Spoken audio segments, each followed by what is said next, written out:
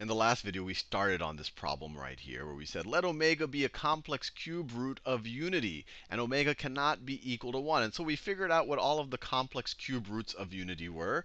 We figured out, well, we knew that 1 was one of them, and we used that to factor out this, this third degree equation right over here. And we figured out the other, the other uh, roots, cube roots of unity were negative 1 plus or minus the square root of 3i over 2. And we said, look, the problem said let let omega be one of the, or be a complex cube root of unity. So I just picked it to be the negative version. So I said let omega be this thing right over here.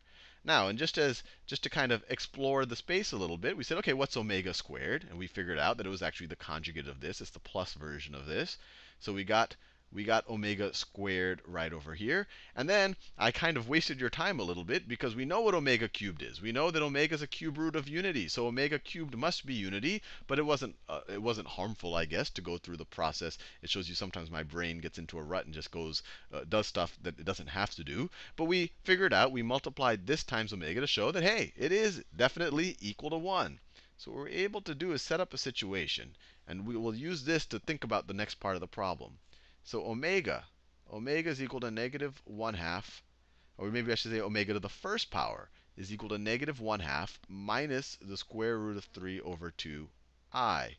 Omega to the second power, omega to the second power, let me write it over here. Omega to the second power is equal to negative 1 plus the square root of 3 over 2i.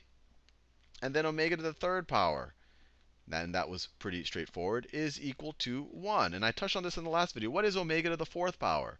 Omega to the fourth power is going to be omega to the third times omega. So it's going to be omega again. So this is also going to be, this is also, let me scroll to the left a little bit. This is also going to be omega to the fourth power. Omega to the fourth power is the same thing as omega to the first power, which is this.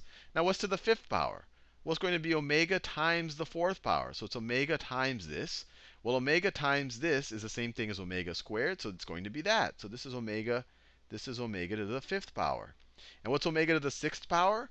Well, that's just the same thing as taking omega cubed and squaring it. So this is also going to be 1. So this is omega to the sixth. Or you could just view as it's this times omega, right? Because it's to the fifth power, and we saw that that's also equal to 1.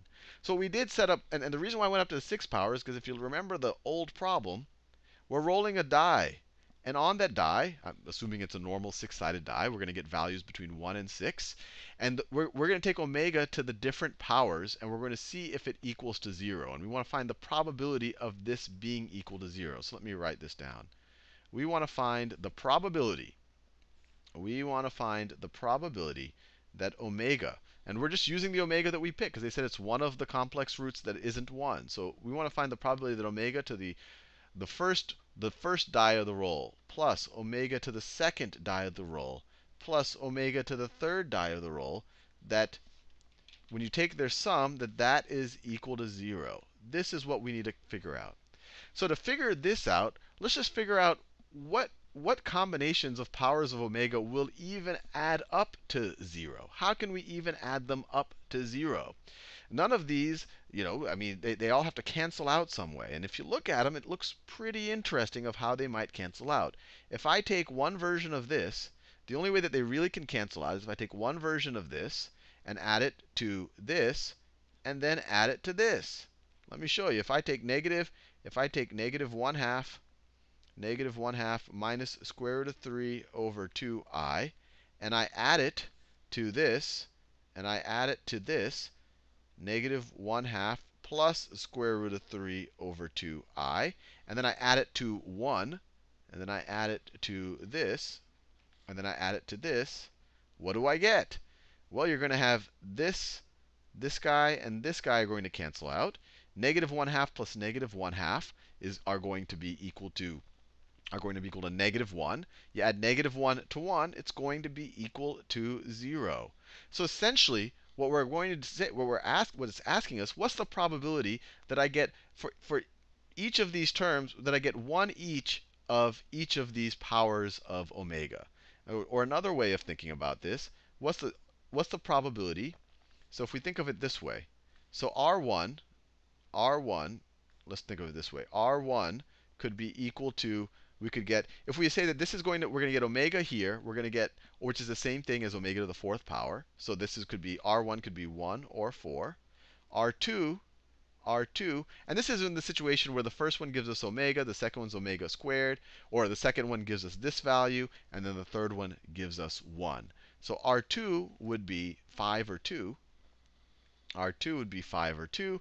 And then R3, R3 would be equal to, R3 would be equal to 3 or 6. 3 or 6. Now, I want to be very clear. We could we could swap these around. There's actually six there's actually six ways that you could you could instead of instead of this being the first roll, this roll could be one or four, and then this one could be five or two, and then this one could be three or six. So there's actually six ways of doing this. I guess you could say you could permute these six uh, six different ways, or three times two times one. But we'll think about that in a second. But let's just assuming that we want this way, where this first one this first one is going to evaluate to this, and the second one is going to evaluate to this, and the third one is going to evaluate to this. What's the probability of that happening? And then we're going to multiply that 6 by 6 because there's six ways to rearrange these terms right over here. So let's do that. So what's the probability of that happening?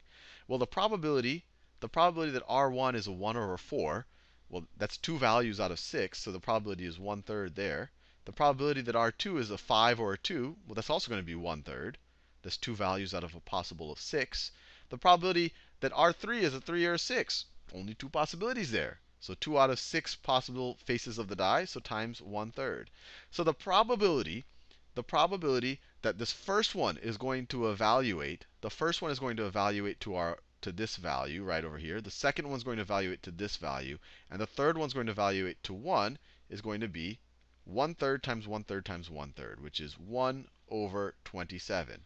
Now, let me be, and I touched on this already. This is, there's six ways that you could you could rearrange this six ways. There's there's three of you have three terms and you're putting them in three places. So in the first place, in the first place you could put three of the terms. In the second place you could you have two terms left that you could put. And in the last place you only have one term left. So there's 3 times 2 times 1 ways to arrange these things. We can arrange this 3 times 2 times 1 different ways. So there's six different arrangements. The probability of each is 1 over 27. So the probability under question, this thing over here, there's six arrangements. There's six arrangements of getting of getting these things to be added up in this way. And the probability of each of them is 1 over 27. So it's equal to 6 over 27. And if you divide the numerator and the denominator by 3, it's equal to 2 over 9. And we're done. It wasn't too bad, I think. The probability, the probability of getting omega to the r1 plus omega to the r2 plus omega to the r3, where r1 and r2, r3 are rolls, numbers obtained from rolling a fair die. The probability that when you add all of these, it's going to be equal to 0 is 2 over 9. Anyway, I thought that was pretty neat problem.